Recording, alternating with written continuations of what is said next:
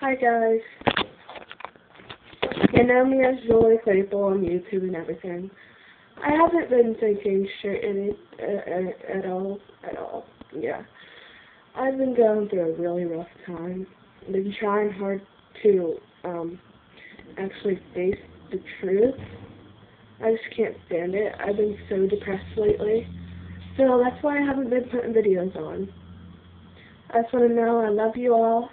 Thanks for your comments and your reviews and everything. Peace.